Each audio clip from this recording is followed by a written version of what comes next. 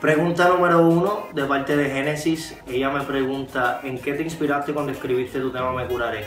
Fíjate, pues Me Curaré fue un tema que, que nació en la ciudad de Colombia, Medellín, Colombia, en una de mis giras de, de medio por allá. Eh, estuve reunido con, con, productores de J Balvin, Sky Mosty, tremendos productores, y nada, y estaba pensando en un tema algo diferente de qué hablar y, y salí con, con, el tema de Me Curaré, que, es un tema que pues, ¿quién no se quiere curar con, otra persona, especialmente si te gusta esta persona? Este, y ahí salí con, lo de yo me curaré, con mi brazo yo te amarraré en la noche y no te soltaré. O sea, me pues, pues, pues, obviamente las féminas, las chicas, que todas mis canciones pues se las dedico a, a, las mujeres y, y, nada, y, espero que sea de, de su agrado todo lo que hago y un saludito para Génesis. No importa el reloj, no importa quién llame, solo estoy para ti. Pregunta número 2 de parte de Natalie Palacio. Ella me pregunta, eh, soy de Los Ángeles, California y te quería preguntar cuál es tu mujer ideal y cómo sería ella, describe.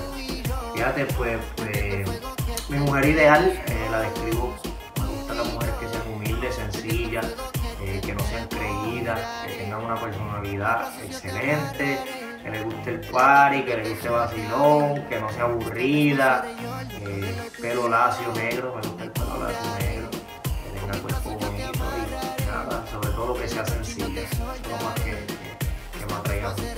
Saluditos para Natalia. Que mate esa curiosidad, te pillé y te atrapé que en la oscuridad eh, subí el volumen duro. Pregunta número 3 de parte de Pedro Manuel Jiménez González. Él pregunta, cuando entras a tu canal y ves las visitas de tus canciones, ¿qué sientes? Fíjate, pues, pues me siento sumamente orgulloso cuando, cuando entro a mi canal y veo tantas visitas de, los videos y las canciones, pues, pues, me siento bien al saber que, que, que, estoy haciendo algo que le gusta a la gente eh, y hago canciones para que la gente se pueda identificar con ellas. Y pienso que esa ha sido la clave y, y, y a la hora de mostrarle los números de YouTube y, las cosas que estamos haciendo, los comentarios que me dejan, eso me motiva mucho a seguir adelante. Así que buena pregunta eh, de parte de Pedro Manuel Jiménez González. Saluditos.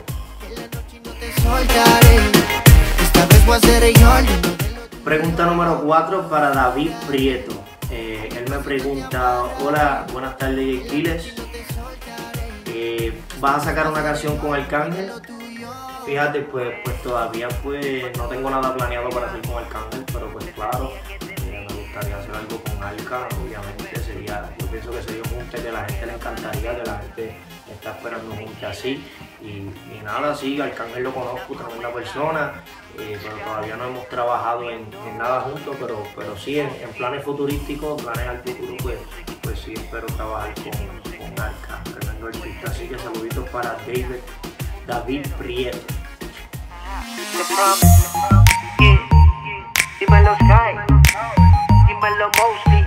Pregunta número 5 de, de, parte de Carlos José Cardova Silva. Él me pregunta, ¿quién fue la persona que más te apoyó a la hora de entrar al mundo de la música?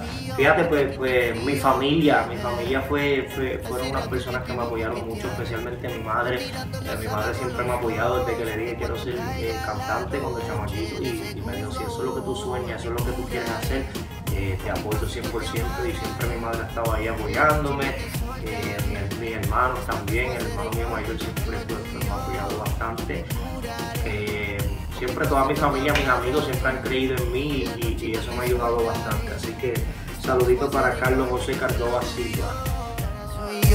Dueño de lo tuyo, dueño de todo, cuando estoy contigo. Pregunta número 6 de parte de Alejandro Goncalves. Él pregunta, ¿cuál ha sido el momento en tu carrera donde te paras por un momento y piensas cómo llegué hasta aquí, cómo logré mover tantas masas con mi música? Fíjate, pues todos los días pues me levanto y le doy gracias a Dios y digo, wow, gracias por las oportunidades. Todavía me sorprendo cuando, cuando, cuando llego a los sitios y veo que tengo tantas fanaticadas. Pues, pues, a veces es algo que, uno mismo no se lo cree, pero este, siempre doy gracias a Dios por, por las lindas oportunidades, por, por, esos días que, que me da.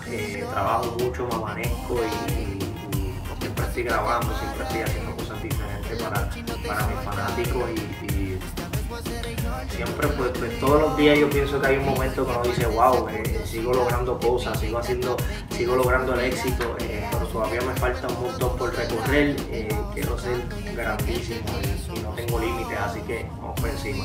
Saluditos para Alejandro Concalves. tú y yo, el fuego que tenemos. Pregunta número 7 de parte de Valentina Rodríguez. Okay. Valentina Rodríguez pregunta, ¿qué piensas de empezar una familia? Espero que sea conmigo. Esa fue buena, Valentina. Fíjate, pues, pues soy alguien que, soy bien familiar. Me encanta la familia y, sí me gustaría ya tener una familia. Eh, pero ahora mismo pues estoy un poquito aguantado, pero ya en dos o tres añitos, pues antes que me ponga más tengo 25 años, ya a los 28 aunque sea, eh, pero pues ya tener esa persona que quiera, esa persona que me espere cuando llegue los viajes, eh, darle muchos besitos, mamá, mamá, tener un hijo, o dos, o tres, y pues claro, me encantaría tener una familia, muy buena pregunta, eh, soy un hombre familiar como dije anteriormente, y nada, pues claro, pienso tener una familia. Vamos a ver si es contigo. Tira saludito para Valentina Rodríguez.